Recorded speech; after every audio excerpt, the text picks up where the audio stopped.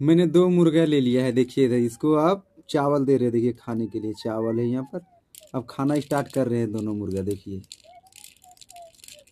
अब दोनों मुर्गा चना चावल खाएँगे। टूक टूक टू टूटी टूटी टूटी